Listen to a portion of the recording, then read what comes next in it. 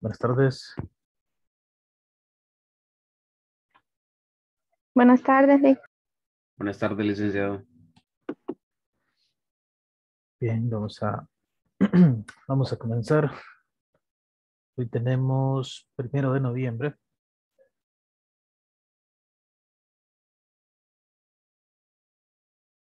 Y la última clase nos habíamos quedado con el método de demostración por casos.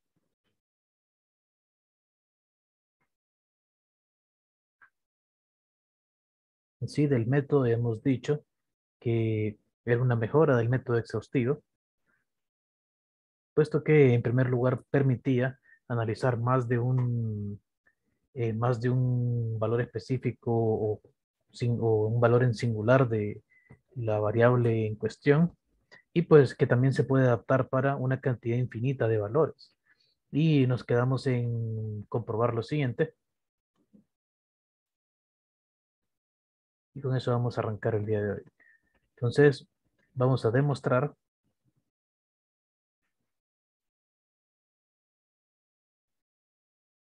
que si n es un entero,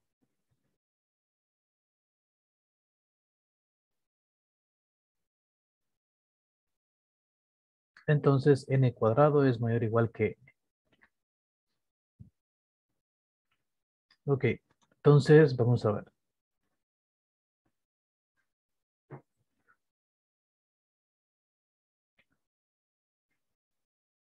Esta demostración como tal, pues, principalmente requiere de, vamos a decirlo así, un análisis en específico. Y es que dependiendo de el signo de n, nosotros podemos elaborar una demostración u otra. Obviamente podemos hacer este análisis a partir del método de, eh, ¿cómo se llama? Eh, o utilizando una tabla de eh, una tabla de variación de signo a partir para ver los valores en los cuales esta cuadrática es positivo o negativo. Pero bueno, al final de cuentas, si solamente nos basamos en lo que hemos estudiado en la clase, pues realmente necesitamos considerar tres casos. Entonces, vamos a ver. Eh, demostraremos o probaremos lo, lo pedido.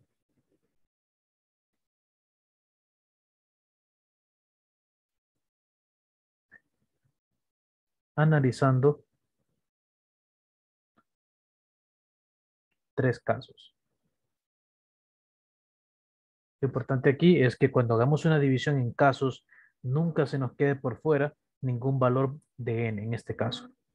No se puede dejar ningún valor de n que esté fuera de los casos que vayamos a analizar, porque entonces está, está incompleta la demostración. Entonces, caso 1, n es positivo.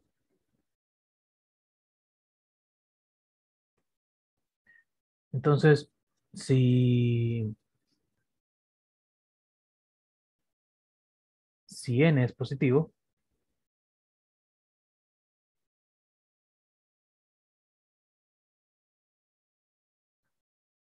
entonces n es mayor o igual que 1.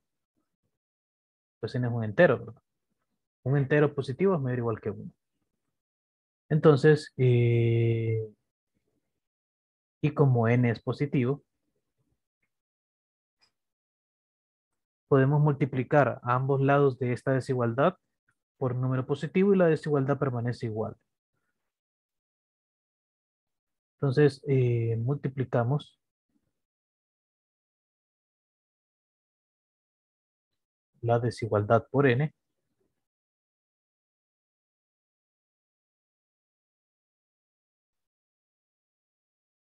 Y tenemos que n cuadrado es mayor o igual que y ahí está. Caso que n es positivo, ya está abordado. Otra cosa, cuando hagamos una división en casos, en todos los casos tenemos que demostrar lo que se nos pide. No es que en unos casos sí, en otros no. Tenemos que demostrarlo en todos. Ok. Ahora, ¿qué pasa si n es igual a, eh, si n es igual a 0? Entonces, si n es igual a 0, pues se cumple. Si n es igual a 0, entonces 0 al cuadrado es igual a 0. O podemos decir, como esto ocurre, como 0 cuadrado es igual a 0, entonces n cuadrado sería igual a n en este caso. Y si n cuadrado es igual a n, entonces podemos decir que es mayor o igual que n. Por el hecho de que está incluido como una posibilidad. Es mayor o igual. De hecho es igual, pero también pero sigue siendo verdad porque está incluido en lo que estamos diciendo. Entonces ahí está. Se cumple. Y el caso número 3 es cuando n es negativo. Entonces, eh, vamos a ver. Si n es negativo, mm, intentemos, intentemos razonar qué podemos hacer si n es negativo. Si n es negativo, entonces podríamos intentar hacer un análisis como el de arriba. n es menor o igual que negativo 1 y luego ver qué hacemos. Pero realmente, si n es negativo, como n cuadrado es mayor que 0, eso lo sabemos porque lo hemos estado demostrando en, clases anteriores. Que para cualquier número entero, el cuadrado es mayor que 0. Bueno, en sí es mayor o igual. Vamos a dejarlo así. Aunque en sí es mayor estricto, pero habría que justificarlo. Lo que tenemos es, eh, si n es un entero negativo, como el cuadrado es mayor que 0 y 0 es mayor que n, esto es por ser negativo, esto mismo de aquí, entonces n cuadrado es mayor estrictamente que n. Eso también se puede decir porque el derecho de o mejor dicho, esto en resumen lo que está diciendo es que esto es un número positivo y obviamente va a ser mayor que un número negativo. Pero aquí lo estamos justificando, no estamos utilizando la, explicación. Un número positivo eh, obviamente es mayor que un número negativo. Simplemente estamos diciendo, lo estamos diciendo, pero con símbolos, de forma justificada. Como n cuadrado es positivo, estamos escribiendo aquí con un símbolo, y 0 es mayor que n, es decir, n es negativo, entonces, por la propiedad transitiva de la desigualdad, tenemos que n cuadrado es mayor que n. Y pues como es mayor, también se cumple que es mayor o igual. por estar incluido en la frase mayor o igual. Y ya está. Entonces ya hemos comprobado la, eh, hemos comprobado la proposición para los tres casos. Y si lo comprobamos en todos los casos, pues ya está. No hay más que hacer. No cabe, no cabe duda de que, es, de que el resultado es válido porque en todos los casos posibles eh, que planteamos aquí se cumple y no hay ningún valor de n que quede fuera de estos casos. En eso consiste el método. Dividir nuestro problema en, varias situaciones, preferiblemente pocas, comprobar que en cada una de las situaciones se cumple el, el teorema o lo que queremos demostrar y estar seguros que no hay ningún valor de la variable que se nos quede por fuera de los casos. Si un valor se queda por fuera de los casos, solo hay dos posibilidades. O mm, o está mal demostrado todo y no hay nada que hacer, toca volver a hacerla desde el principio, o se puede agregar ese último término o, ese valor, o esos valores que quedaron por fuera con un caso 4, por decirlo así. Si fuesen 3, lo haremos en un caso 4. Eso puede ser una solución, pero mm, no siempre sucede. Entonces, lo que tenemos que estar seguros es eso. Que estén todos los casos cubiertos. Valga valga el hecho de que estamos utilizando casos como la enumeración y como valores de variable. Pero ok, entonces vamos a ejemplificar este método con otro ejemplo más. Y vamos a demostrar que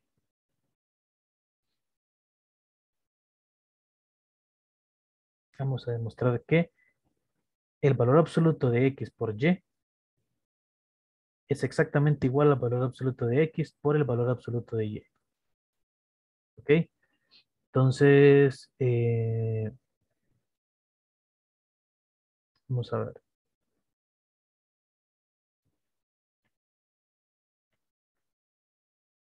Vamos a demostrar esto. Y resulta que aquí nosotros, mm, bueno, aquí recordemos que, antes de ir a la demostración, recordemos que el valor absoluto de x es x cuando x es mayor o igual que cero, es decir, cuando es no negativo, y es menos x cuando x es menor que cero, es decir, cuando es negativo. Entonces ya el mismo valor absoluto nos está haciendo una pequeña división por casos aquí. Entonces, eh, realmente podemos analizarlo de la siguiente forma. Vamos a establecer una, la demostración ahora sí.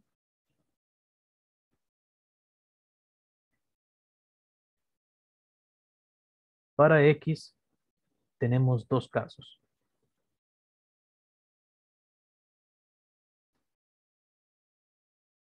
Caso 1, que X sea no negativo.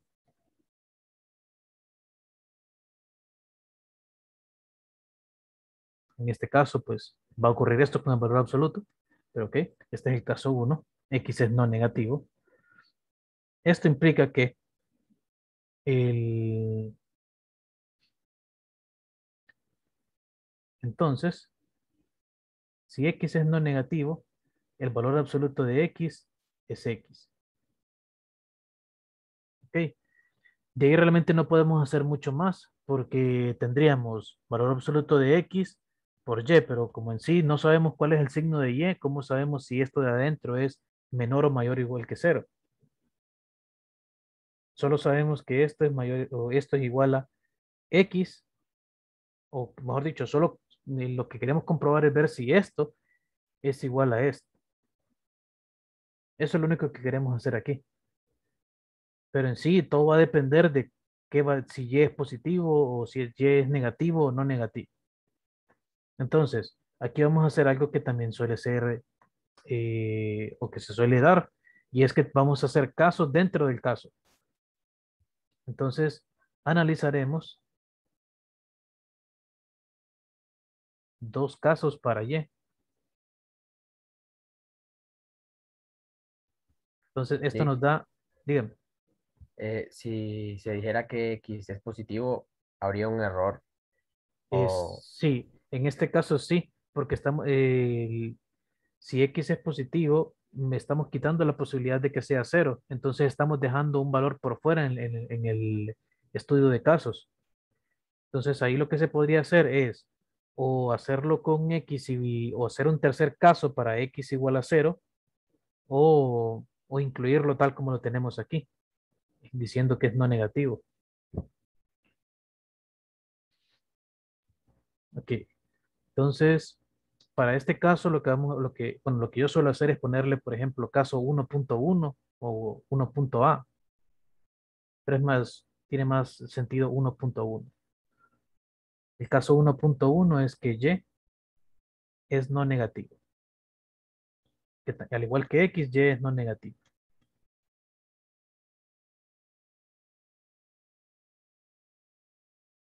Entonces,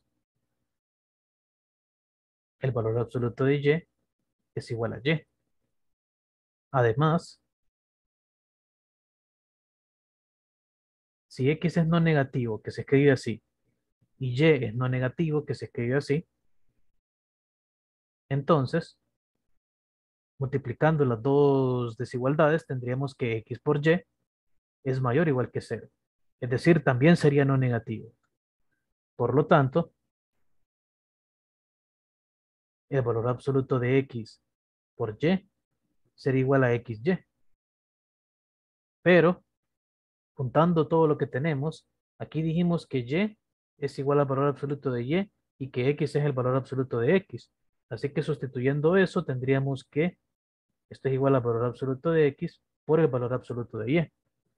Por esas dos igualdades que teníamos ya escritas. Entonces, esto lo demuestra o demuestra el, lo pedido en este caso 1.1. Ahora vamos a analizar el caso 1.2. Que sería cuando y es negativo.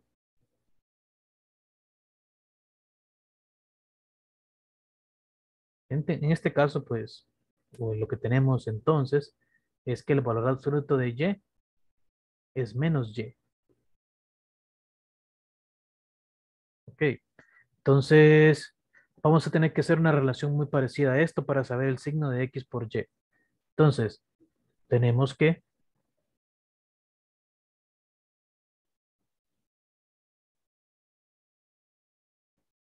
si y, eh, o vamos a ver, mm, bueno, sí, si x es, mayor o igual que 0, es no negativo, y y es negativo estrictamente, entonces, ¿qué podemos decir del producto? Positivo por negativo, pues nos va a dar negativo. Y nos va a dar negativo estricto, sin el igual. Bueno, de hecho, sí podría darnos, sí podría darnos el igual. Eh, pero bueno, en ese caso, pues no es tan grave. Porque si fuese igual a cero, pues igual, igual queda. Mm,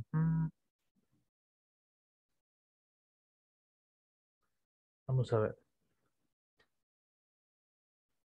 Es que lo, que no quiero hacer aquí son otros dos casos para X y separarlo en positivo y negativo. Aunque realmente podríamos. Mm. Pero bueno, básicamente la cuestión es que aún si X fuese cero, esto se sigue cumpliendo. Pues.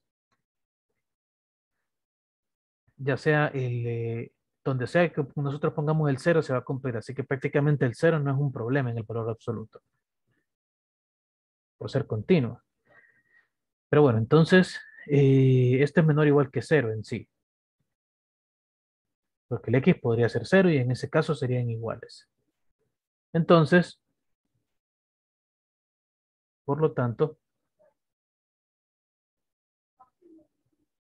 el valor absoluto de x por y tiene que ser negativo x por y. Y aquí vamos a asociar convenientemente escribiendo x por menos y. Y pues como estamos en el caso 1, el valor absoluto de x es igual a x. Y como estamos en el 1.2, el valor absoluto de y es menos y. Así que tenemos esto.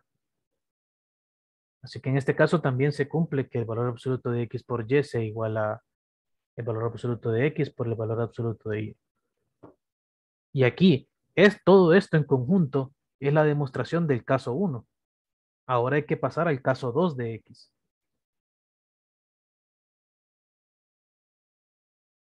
Y eso es cuando x es negativo.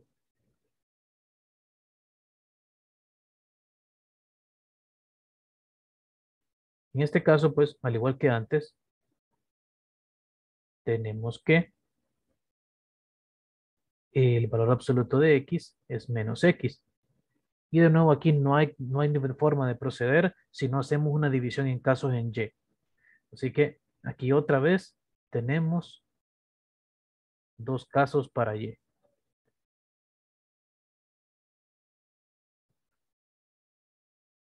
Entonces esto nos deja el caso 2.1 y eh, prácticamente de aquí en adelante es una copia de lo que hicimos arriba pero hay que hacerla porque son, eh, hay ligeros detalles que cambiar.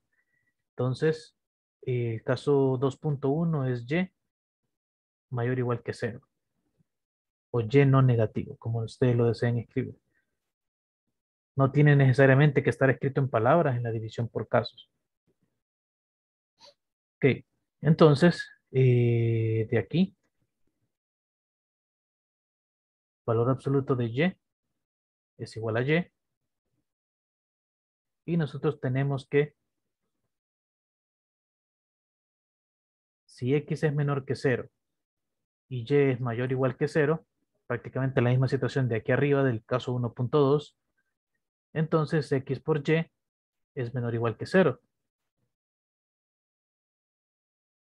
Por lo tanto, valor absoluto de x por y es menos x por y. Y agrupando convenientemente la, el negativo con la x, en este caso pues tendríamos valor absoluto de x, porque eso es igual a menos x, y valor absoluto de y, porque eso es igual a y. Y pues ahora nos resta hacer un caso más, ya con ese terminamos. Caso 2.2, que es cuando y es negativo también. Entonces aquí, valor absoluto de y es menos y. Y nosotros tenemos que, si x es negativo y y es negativo, entonces x por y es, bueno, es mayor estrictamente que cero. Aquí no importa si va a ir cero o no. Pero es mayor que cero. Por lo tanto, el valor absoluto de x por y es igual a x por y. Y aquí como nos sacamos los negativos, pues en lugar de solo sacar uno, sacamos dos para tener menos por menos.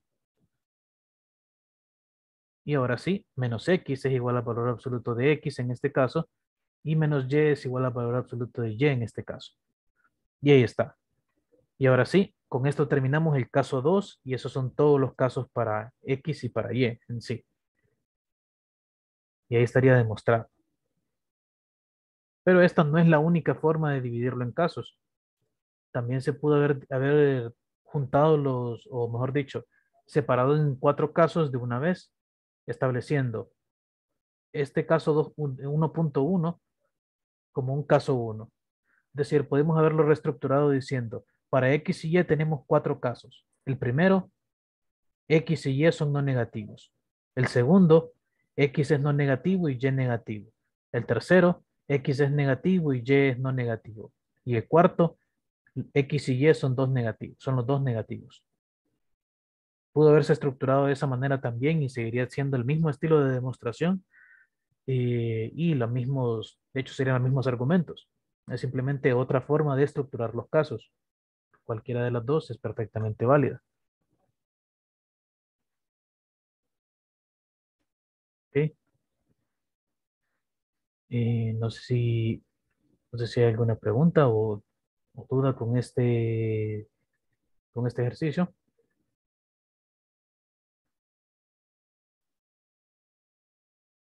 No, todo claro. Perfecto. Entonces, vamos a ver. Ok. Vean el siguiente ejemplo, que es bastante interesante porque lo que demostramos es otro tipo de cosas, pero utilizamos una demostración por casos. Entonces, eh, muestre que y por cierto, por si no se ha quedado suficientemente claro, o, si, no lo había dicho también, las palabras muestre, demuestre y pruebe significan prácticamente lo mismo. Entonces, aquí muestre que no hay soluciones enteras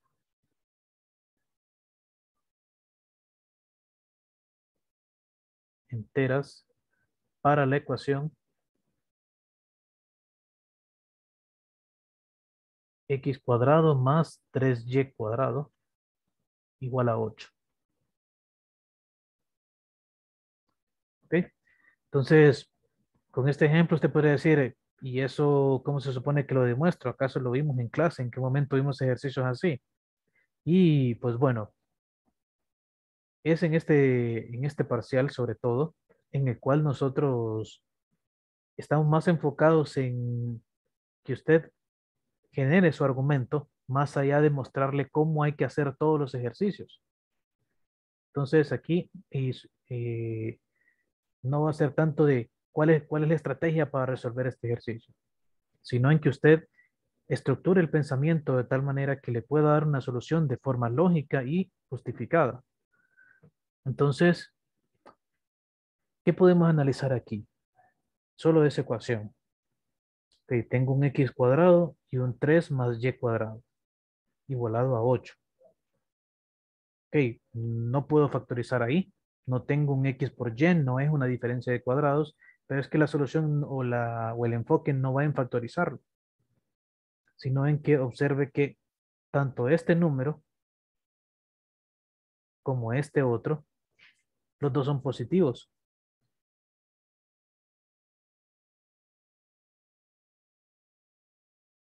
Y pues bueno, ¿cómo nosotros podemos hacer eh, para decir, bueno, realmente X no puede tener cualquier valor, valor o Y no puede tener cualquier valor?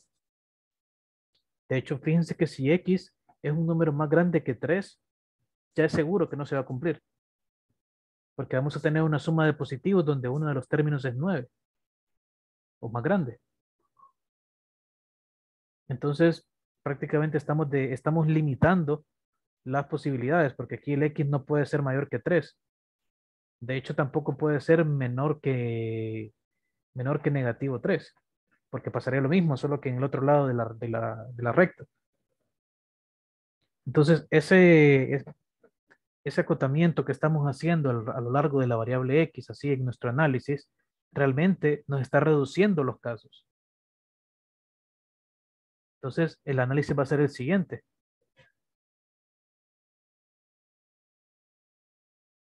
Aquí, eh, demostración.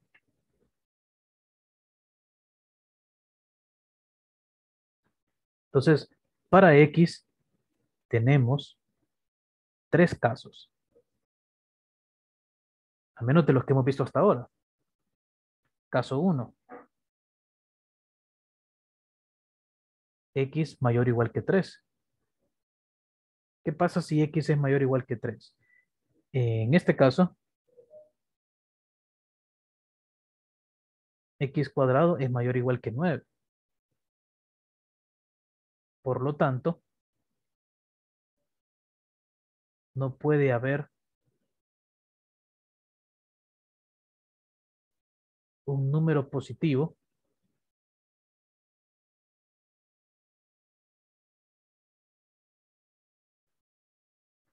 tal que x cuadrado más un número positivo k, pongámosle aquí, por ponerle un nombre, más k, y que esto sea igual a 8. Ven que aquí ni siquiera estoy haciendo de que el número que le estoy sumando al x cuadrado sea 3y cuadrado. Realmente no importa que tenga esa forma. Si el x es mayor o igual que 3, no importa que le sume yo, si es positivo no va a dar. Lo mismo va a suceder si el x es menor o, igual que negativo 3. Así que realmente podría yo generar un caso completamente, completamente aparte, ponerle caso 2 y cuando x sea menor o igual que negativo 3, pero realmente la explicación va a ser la misma. Entonces, mejor voy a resumir mis casos y en lugar de 3 voy a decir que solo hay 2. Y mi primer caso va a ser este o este de aquí. Y en los dos casos tenemos esto. Así que para los dos es la misma justificación.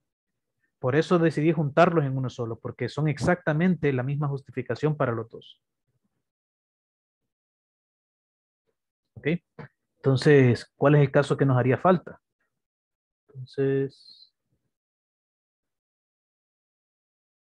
bien, el caso 2, que es el que nos haría falta, es que x está entre menos 3 y 3, pero sin incluirlos.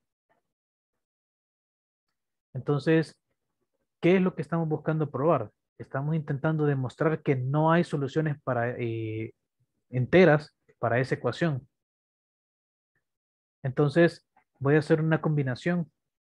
Aquí, ¿cuántos casos realmente tengo?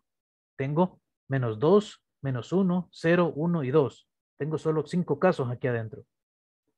Entonces voy a usar un método exhaustivo para agotar esos cinco casos y comprobar que en esos cinco casos no se, no se puede encontrar un Y que cumpla. Entonces estoy haciendo una demostración por casos y adentro, para hacer la demostración de uno de los casos, estoy usando un método exhaustivo. Entonces, veamos que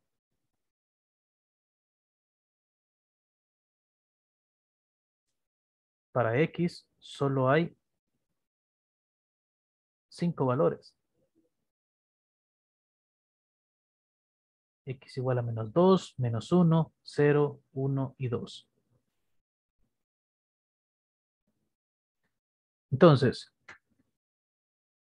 vamos a hacer el método exhaustivo, pero aún, así vamos a hacer el método exhaustivo de forma un poco inteligente, porque al final de cuentas, si yo lo que yo haga con menos 2 va a ser exactamente lo mismo que yo voy a hacer con 2. Porque lo que necesito es x al cuadrado, no x. Así que, bueno. Mm,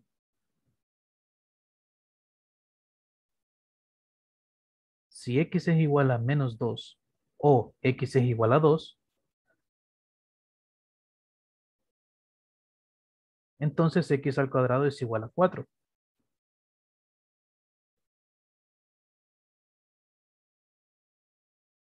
Entonces, eh, fíjense que incluso vamos a hacer una combinación más y para demostrar que no hay solución vamos a utilizar el método o la, la técnica de demostración por contradicción. Entonces, si y es solución de la ecuación, es decir, aquí estoy suponiendo lo opuesto de lo que quería demostrar. Si y es solución de esta ecuación de arriba, Entonces, eh, tendría 4 más 3y cuadrado igual a 8. Entonces voy a intentar despejar para y. 3y cuadrado me quedaría igual a 4. Entonces, y cuadrado me quedaría igual a 4 tercios. Pero aquí ya hay una contradicción. Y aunque bueno, no lo escribí aquí, pero ya en el problema estaba y la contradicción está en que y tiene que ser un entero. Entonces el cuadrado de y también va a ser entero, pero aquí no, no lo tengo igual a un entero. Entonces ahí esto es una contradicción. Esto es una contradicción.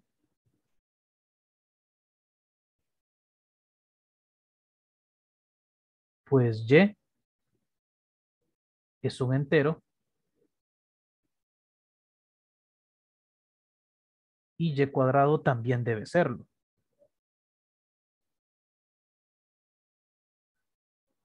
Y aquí claramente esto no es un entero. Entonces aquí he demostrado por contradicción que mm, y no es solución en estos dos casos, dentro del caso que teníamos aquí. Entonces, eh, visto de esa manera, es como bastante mezcla pero el análisis que le hemos estado dando, pues no lo hace sentir tan pesado. Espero yo. Y pues bueno, por lo tanto, Y no es solución, o mejor dicho, eh, no hay solución entera para Y. Y si no hay solución entera para Y, pues tampoco lo hay para, para los dos, ¿verdad? Porque están en un conjunto. Quizás aquí faltó agregar el hecho de que es entero, solo para que quedara claro. Solución entera de la ecuación. Ahora vamos a hacer algo muy similar, pero para x igual a 1 y para x igual a menos 1. Entonces ven que es como una serie de casos aquí, pero en sí es el método exhaustivo si x es igual a menos 1 o x es igual a 1, entonces x al cuadrado es igual a 1. Eh, luego, si y es una solución entera, es mismo la misma estructura, para la ecuación,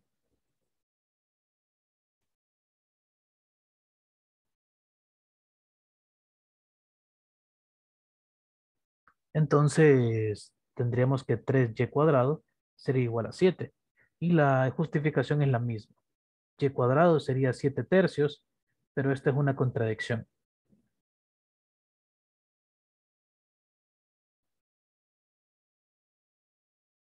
Y en este caso, pues, solo voy a colocar unos puntos suspensivos porque es la misma justificación de lo que está aquí. Entonces, en este caso tampoco se puede. Solo resta un caso más. Si x es igual a 0, Entonces, eh, x al cuadrado es 0.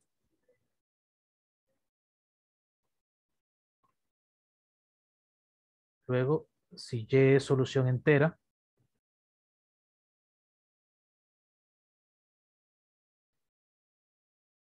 de la ecuación,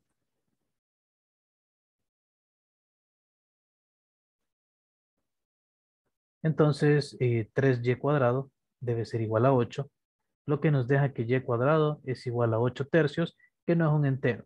Y esto es una contradicción.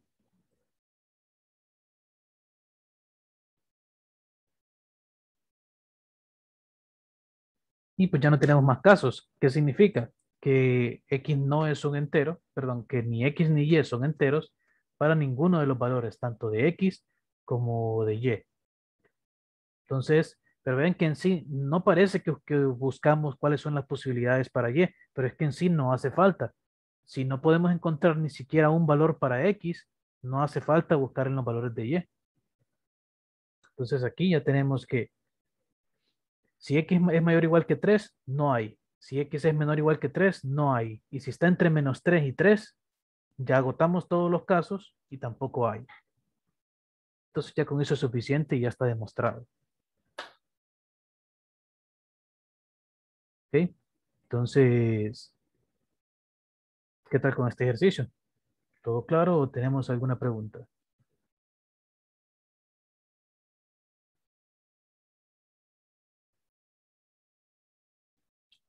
Eh, creo que todo claro por el momento, licenciado. Listo. Muchas gracias por ver. Ok. Eh, ahora, fíjense que esta última demostración la podemos utilizar para algo bien interesante. Realmente, nosotros, por decirlo así, los casos negativos como que los relegamos un poco, como que no les dimos mucha importancia porque los colocamos como dentro de los casos que ya estaban. Entonces, eh, porque realmente la justificación era exactamente la misma.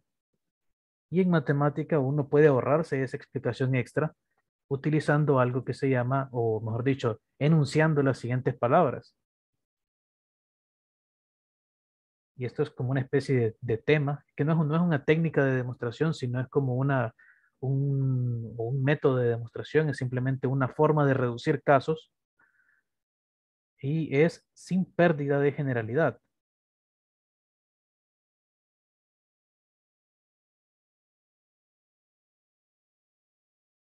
Entonces, eh, esta frase se utiliza, y esta parte vamos a copiar la textual, esta frase se utiliza, eh, vamos a ver, en una demostración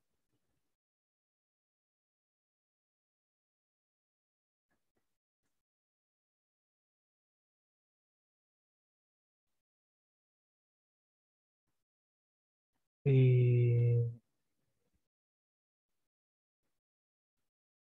cuando al demostrar un caso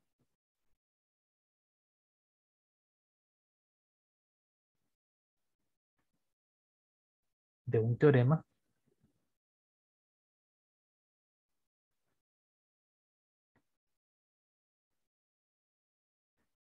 eh,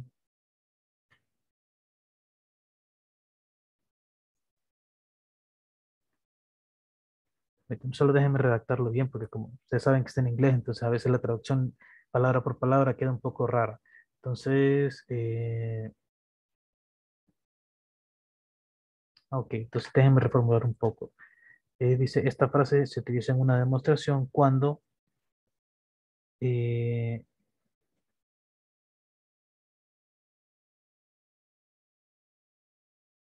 vamos a decirlo así, cuando la demostración de un caso la demostración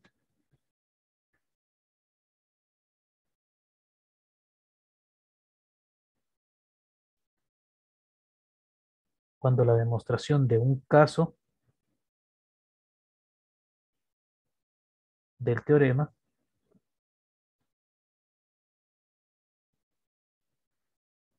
no requiere argumentos adicionales.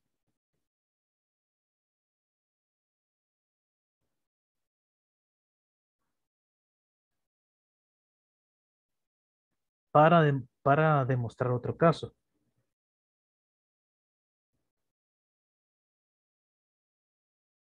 Salvo eh, los cambios obvios. Ya les voy a explicar a qué se refiere con todo esto. Entonces, sí podemos utilizarlo con este problema de arriba, pero hay una forma más fácil de, de entenderlo. El, el teorema del valor absoluto, el que comprobamos un poco más arriba, este de aquí. Entonces, vamos a ver. Nosotros aquí pudimos haber supuesto sin pérdida de generalidad que X es mayor que Y. ¿Ok? Y con eso, lo que hubiésemos ganado es ahorrarnos un caso. Porque si nosotros suponemos que X es mayor que Y, entonces, eh, este caso, el 2.1 no habría que hacerlo.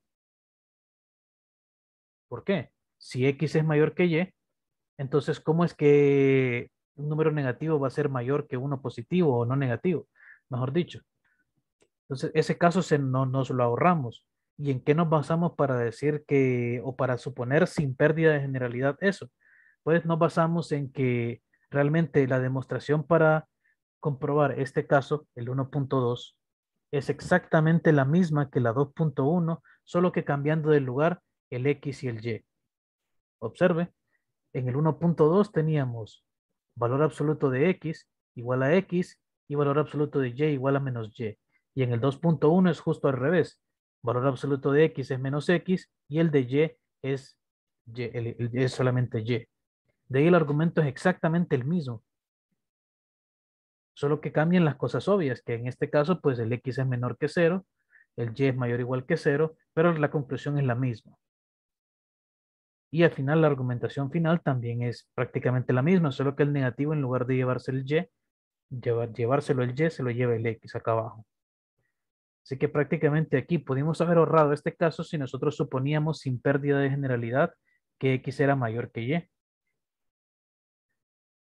Entonces, ese es un tipo de situaciones que suceden comúnmente y pues se, lo, se los comento más que todo por si les toca o por si lo leen. Es básicamente que si, usted lee en algún momento que dice sin pérdida de generalidad, se puede suponer esto, significa que eh, si no lo suponemos, vamos a realizar algunas o varias demostraciones que son como estas dos, que son prácticamente la misma, pero cambiando una letra por otra. ¿Ok? Entonces, en ese tipo de casos uno utiliza sin pérdida de generalidad. Por ejemplo, en este, en este problema 3, en este ejemplo 3, pudimos haber dicho, sin pérdida de generalidad, supongamos que X y Y son positivos. ¿Por qué? Porque los negativos, el caso para los negativos es exactamente el mismo. Y en ese caso nos hubiésemos ahorrado escribir esto y nos hubiésemos ahorrado escribir estos casos de aquí. Menos 2 y menos 1. Nos hubiésemos quedado solo con x igual 0, 1 y 2. Entonces, en este último ejercicio se podía suponer sin pérdida de generalidad que x era eh, mayor o igual que 0. Entonces, uno no siempre logra saber antes de hacer la demostración cuándo puede decir que algo se supone sin pérdida de generalidad. No siempre es tan claro, pero en algunos ejercicios sí. Por lo tanto, mi consejo aquí es que esta frase mmm, no la utilicen de buenas a primeras, utilícenla si al momento de escribir una demostración ustedes la quieren reducir, la quieren hacer más corta. Y ya pues después con la práctica ustedes van viendo qué casos si son o si se simplifican al suponer algo sin pérdida de generalidad y luego pues eh, se ahorran unos cuantos, un poco de tiempo. Entonces vamos a hacer un ejemplo en el cual utilizamos esto y con eso terminamos por hoy. Entonces se nos pide probar que si X y Y son enteros,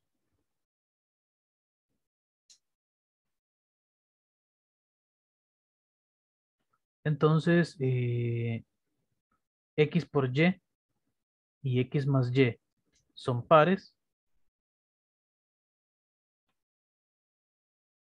Y, a ver, no, perdón, entonces no aquí.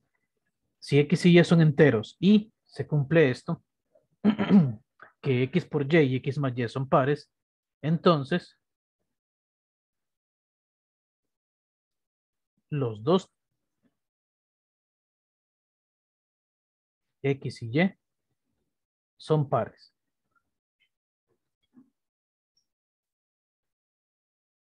Ok. Entonces vamos a hacer la demostración de esto.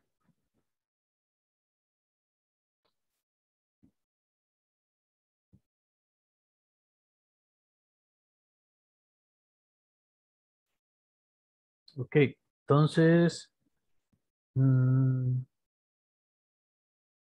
nosotros partimos diciendo si x por y es par, entonces existe un entero n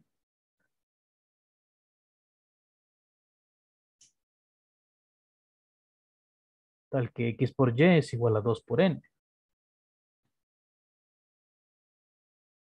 Ok. mm. Y vamos a ver. Aunque que creo que con esto no, no llegamos en sí a, a mucho. Porque vamos a ver. Si luego decimos que x más y es igual a 2m, de ahí casi no simplificamos nada. Mm, eh, sí se puede, pero hacerlo de, forma directa se puede, pero no nos ayuda a demostrar en sí o a utilizar la parte de sin pérdida de generalidad. Entonces, vamos a abandonar esta idea y vamos a hacerlo por contrapositiva.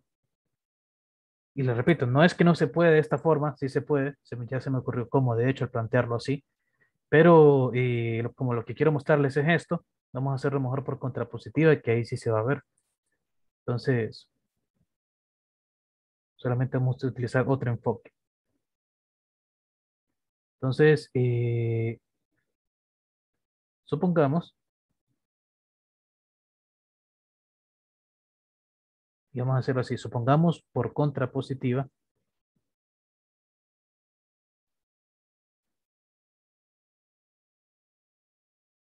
que, y entonces eh, sería la negación de esto, que X o Y, o que alguno de los dos, que alguno,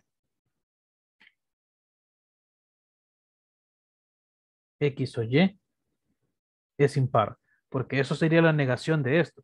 Si, los, si yo digo ambos son pares, la negación es que alguno de los dos es impar. Y queremos demostrar que alguno de estos dos va a ser impar. Porque sería la negación de esto. Decir que estos dos números son pares, la negación sería que alguno de los dos es impar. Entonces, fíjense, estamos suponiendo que alguno de los dos X o Y es impar. Entonces, la cuestión aquí es que realmente no importa cuál de los dos escojamos, siempre se va a llegar a eso. Siempre se va a llegar a lo que nosotros deseamos. Y eh, en sí habría que demostrarlos los dos, solo que hacerlo con X o hacerlo con Y va a ser simplemente cuestión de intercambiar una letra por otra. Así que aquí viene la palabra clave. Sin pérdida de generalidad,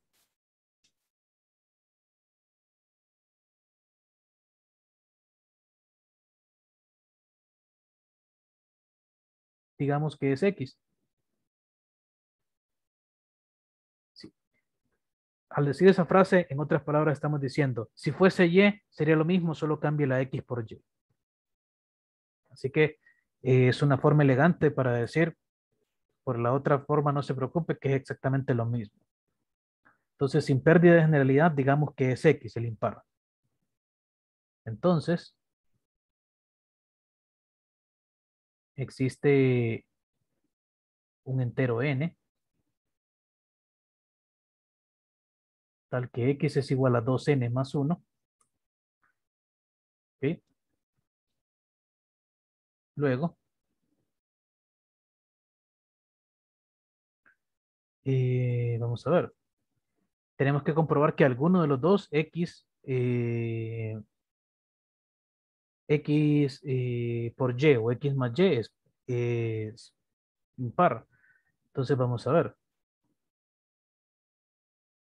Eh, nosotros tenemos que x por y sería igual a 2n más 1 por y, que sería igual a 2ny más y. Esto por un lado.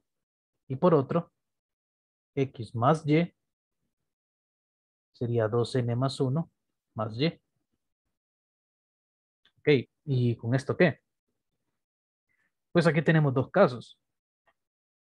Como ya decidimos que el x iba a ser el par, sin pérdida de generalidad, lo supusimos, eh, entonces luego para y habrían dos casos. El y puede ser par o impar, y ya no sabemos.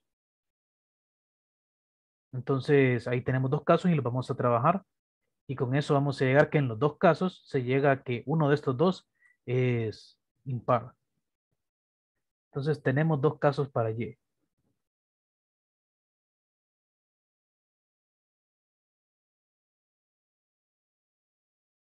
Caso 1. Y es par.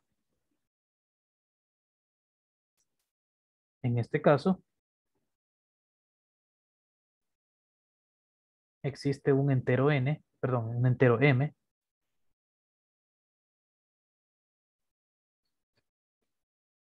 tal que y es igual a 2 por m. ¿Y qué con eso? Bueno, eh, por lo tanto, x más y, y aquí escogemos x más y porque nosotros podemos observar que si yo tengo 2n más 1 más 2m, esto perfectamente lo puedo escribir como 2 por n más m más 1, lo cual es un número impar. Que es impar pues n más m es entero. Y ya está. No nos interesa nada, nada, nada nos interesa e, x por y. Porque solo teníamos que probar que alguno de los dos era impar. Y ya comprobamos que x más y es impar. Entonces, este caso ya está. Ahora, caso 2. Y es impar.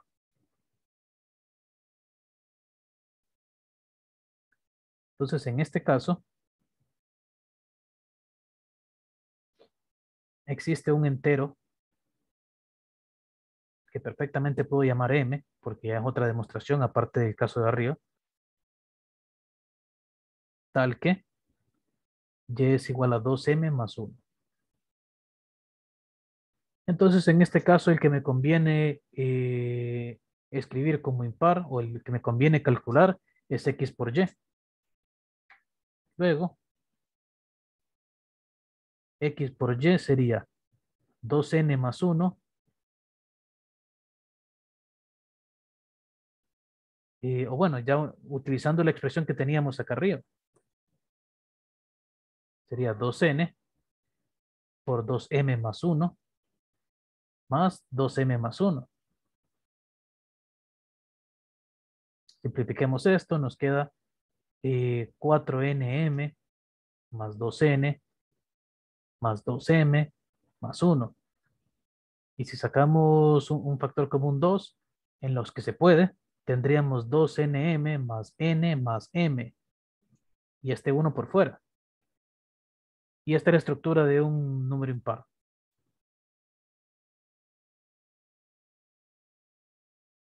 Que es impar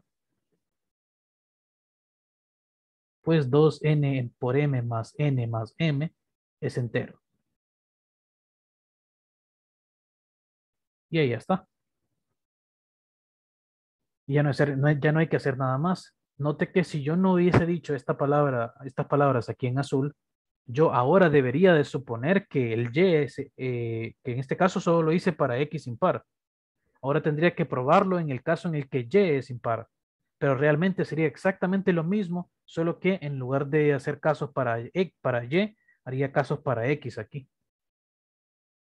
Entonces, por eso uno puede decir, sin pérdida de generalidad, solo hagámoslo para X, porque para Y va a ser exactamente lo mismo y pues no va a tener mucho sentido hacer exactamente lo mismo, pero cambiando el nombre de la letra o de la variable. Y pues bueno, entonces eh, así podemos utilizarlo. Como les digo, esta parte de sin pérdida de generalidad no es, no, no va a ser de mucho menos el método o la técnica más utilizada, pero algunas veces puede ayudar a simplificar eh, bastantes cosas. Entonces, sobre todo para que lo conozcamos y si aprendemos a utilizarlo bien, pues mucho mejor. Pero no es el principal objetivo aprender a utilizarlo de forma perfecta en este momento. ¿Ok? Lick, Dígame. en el caso de, digamos, no, habernos, no darnos cuenta previamente Ujú. a qué, cuál nos, cuál nos conviene demostrar, XY o ya sea XY o X más Y, habría que haberlo separado en caso 1.1 y 1.2. No, en ese caso, lo- como en en sí no son casos estos dos, simplemente las dos se cumplen al mismo tiempo. En ese caso, lo que habría que hacer es plantear las dos y ver que uno, da, uno daría par y el otro daría impar. De hecho, si hacíamos X por Y el análisis aquí abajo, nos daríamos cuenta de que en el caso 1, X por Y daría par. Pero ese caso no nos sirve para demostrar lo que queríamos, porque lo que queríamos demostrar es que uno de los dos va a ser impar.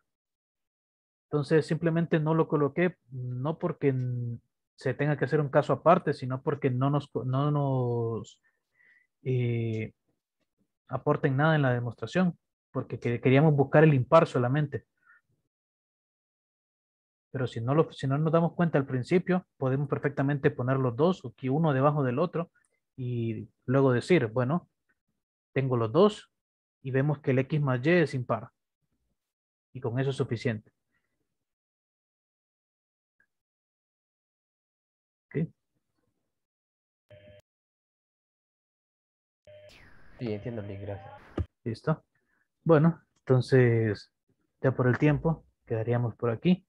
Mañana seguiríamos mañana y si no me equivoco, mañana seríamos, sería nuestra eh, última clase de demostraciones, me parece. De demostraciones como tal. No es que ya no vamos a hacer demostraciones, sino que vamos a pasar a estudiar eh, un poquito más eh, formalmente otra cosa.